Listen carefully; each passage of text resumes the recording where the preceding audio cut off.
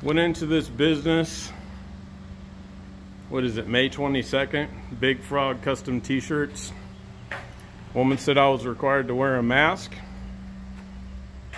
They claim to observe the flag and Memorial Day, but they don't respect it whatsoever. There's no mask requirement right now in Austin. They're playing the game. They're playing the scare game here, and I'm not going to tolerate it anymore.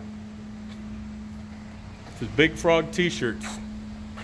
No, my children will not wear a mask here. You know, we're tired of the BS. Okay, we're tired of the BS in Austin. We're not going to support the BS anymore.